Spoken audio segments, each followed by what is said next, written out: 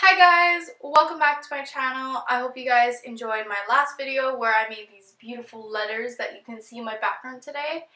And I really like it and I recommend that you guys try it out because they're really really easy to make and they're really inexpensive too. So I mean, why not? So today we are doing an exciting DIY that I've been wanting to do like forever. I just haven't had the time or the money or the time to do this and now I finally do. And so yeah I'm just gonna show you guys how to make DIY headboards out of a pallet so this is also a upcycling project and a DIY at the same time. So this is gonna be very exciting. This is my first like kind of upcycling well this is my second one actually because the magazine one was kind of upcycling but it was pretty easy so I wouldn't count it as upcycling. But yeah, this is my first real upcycling video, and I'm really excited. So first step before you start anything, you have to go look for your pallet. So I recommend going to companies and going to resale stores or going to thrift stores because they usually use pallets to transport their things and I know Savers has, but they usually keep it for their own operation. And there's, I think, Long's Drugs have them. You just have to look around in your area and find places that have pallets because usually most places do. But you just have to ask because you can't just take it. That's that's not good. You don't just take things without asking. So you always have to ask, but don't be afraid to ask because it's free wood and they'll likely give it to you if, you if they have like a bunch that they don't need. And one thing to remember, this is very very important so do not skip this step. When looking for your pallets, you want to look for a mark or a label or some sort of marking that says HT. If it says HT, good, load it up into your car and take it home if not, and you can't find a label or it says something else besides HT, move on. Just move on. Those are the toxic ones and you do not want those in your house. I repeat, you do not want those in your house. So, yeah, don't use those. Use the ones that say HT. And if you guys don't know exactly how the label is supposed to show or supposed to look like, then I'll insert a picture here um, so you can see it. And so it looks like that. And you don't want to get the other ones. Probably repeating myself 5,000 times, but that's okay because it's very important. Don't want you guys to die, you know? Yeah. um, but today I'm going to try it out and I'm just to basically keep the wood as it is because I love the colors of it and I'll insert a clip of how it looks um, here. But I love the colors of it already. So what I really want to do is just sand it, you know, re um, paint it, paint it with wood stain, and then like hang it up onto my bed, connected to my bed. So yeah, that's what I want to do, and I'm gonna show you guys my process. So let's get to it. So first things first, you want to measure your headboard, measure the length and the width to make sure that you have enough wood. So once you have your measurement, you just want to go out to your pallet and you want to do the same thing on the pallet and take a pencil or something to mark it with and just mark it in that exact spot. So I'm just marking it right there.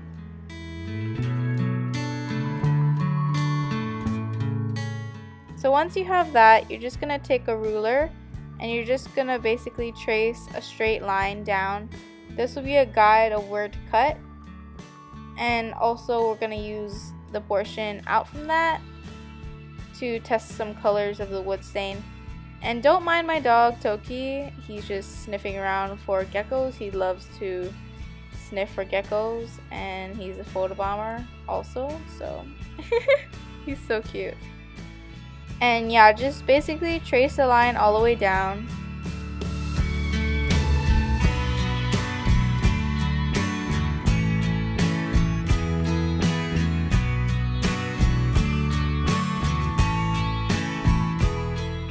So that is the line we are going to follow throughout this whole process so don't, you know, ruin it. And now I'm just remeasuring it to make sure that the line matches up because you want this to be pretty exact.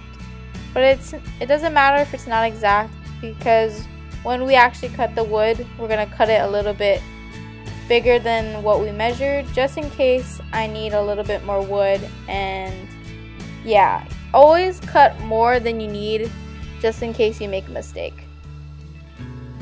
So the next step is to sand, but before you sand, make sure you put on the necessary equipment to keep yourself safe.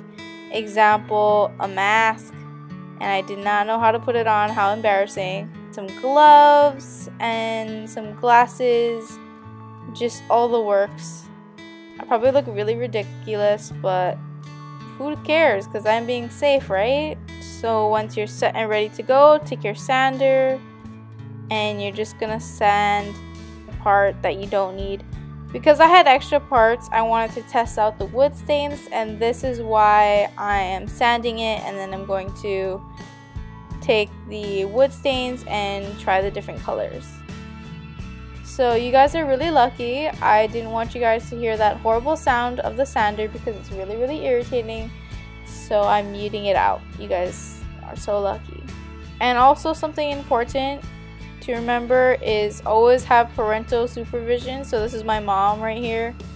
Always have parental supervision because you could sand off your hand or um, get it in your eye. And you just need to be careful because it's tools you're working with. You have to be safe. You can't really see what I'm doing here, but you basically sand it until the wood is smooth and it looks very white.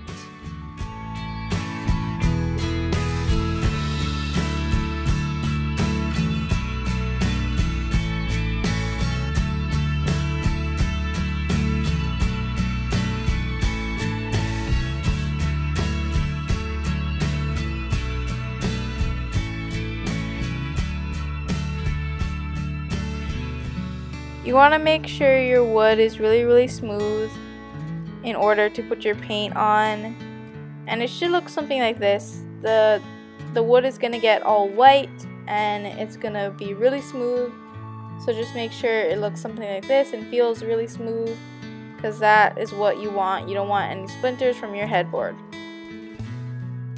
So once you have your wood sanded and it's ready to be painted, then just take your wood stains. So I had four different colors and I just wanted to try them all out to see how it would look on the wood and see which one I like the best.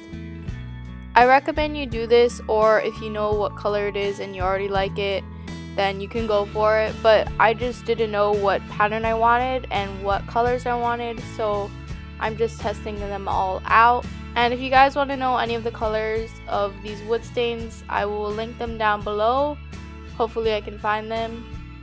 And by the way, I'm using a rag for this application, but you can use a brush. I just wanted to use a rag because it just looks a lot more natural on the wood. And how you open a paint can is you take like a flat nose screwdriver and you just like keep going around the can and popping it up. And try not to get messy because I like spilt yeah, I spilled right there all over the place. But you know what? It's trial and error, right?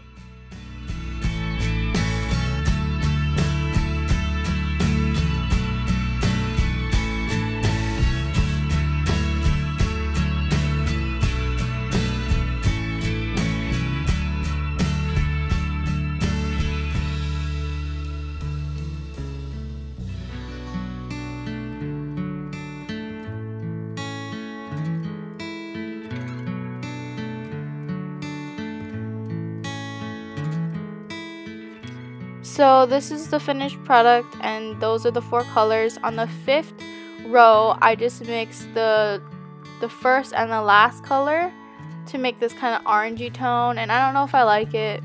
But comment down below which one you guys think you like the best. One, two, three, four, or five. So these are the colors up close. I honestly, I think I like four the best. I do like one because of the vibrancy, but I think it's a little bit too much and it won't match my room. So after you let the wood stain dry for a little bit, you're going to want to take off all this stuff that's in the back. And as you can tell, mine was broken already. Some people like to keep the back as support, but because mine was broken, I just had to fully just go away with it. So I just took a hammer and I just smashed it. And I wasn't strong enough to do this because I am weak. so embarrassing, but I am. So I had my mom just like bang all of her anger issues out of the thing and she actually got like all of it off. And I was really impressed. And especially if you're gonna cut the wood, you need a flat surface to work on. You don't want all this other stuff to be in the way. But again, if you want the base, then you could just leave it. But I chose to knock it all off. The only things that I'm leaving is these three little supporters because they're not much of a distraction.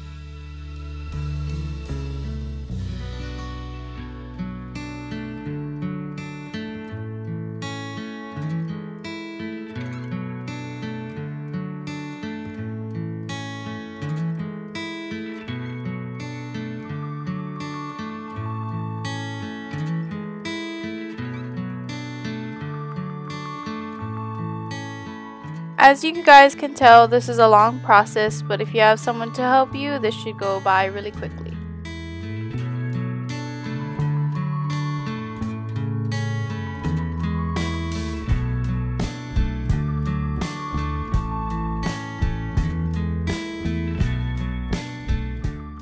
So this is the final product and everything should be a lot more flat than last time. And I'm just basically just gonna leave it like this until I cut it with a saw. I recommend you use a table saw. You can use a hand saw, but that might take a while and it might not be as precise. But it just depends on what you guys have. So now it's time to cut your wood. So like I said before, have parental supervision. So my brother is just helping me cut this and we use a table saw for this and I cut a little bit out of the line that I traced originally because I wanted some extra just in case I made a mistake. He had to do it halfway and then he had to turn it the other way and do it that way. And yeah, it's pretty simple and it takes a lot of work to do, but it's worth it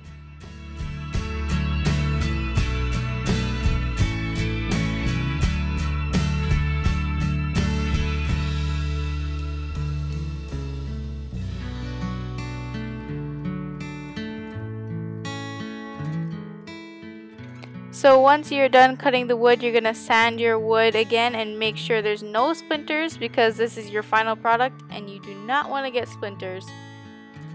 So just continue sanding until it's smooth and white.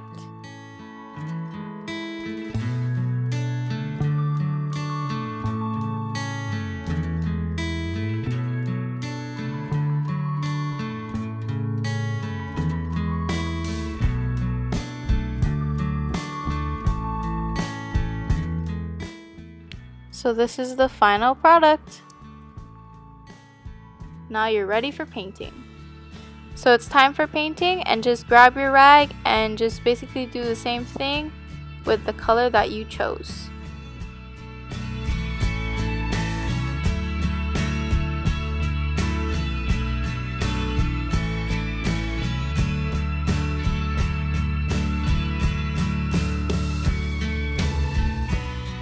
So this is the final product and as you can tell it's ready for installment. So it really depends on what kind of bed you have and how to attach it. But yeah this is pretty much the final product. So I didn't really record how to install it but this is the final product and I really really like it. I just wanted to film a few shots so you guys could see the up close detail and how it looks in the room. And yeah, so here it is and I'm really happy with the outcome and I think it looks so beautiful. So here it is. Thank you guys so much for watching my video. I really hope you guys enjoyed watching this video and feel inspired to do it yourself. And I think it's a really good project to do because it's using old wood, so it's upcycling it, and it's also creating something new that saves you a lot of money because headboards are really, really expensive. So this definitely saves you a load of money because the wood is free. You just have to buy the paint and the tools. But I already had that because my dad's obsessed with tools and stuff like that. So yeah. But it shouldn't be very hard if you have a dad who loves tools. Then you're you're good. but yeah, if you guys want to recreate this upcycling slash DIY project, then use the hashtag pallet upcycle underscore, you know, 21 on Instagram and I'll check it out. And if I like your guys' photos or you have photos of you guys doing it, then please DM me. My Instagram is at interiorforless21 underscore KSM. So you guys can DM it to me and I'll post it on my account and give you guys a shout out as well. So yeah.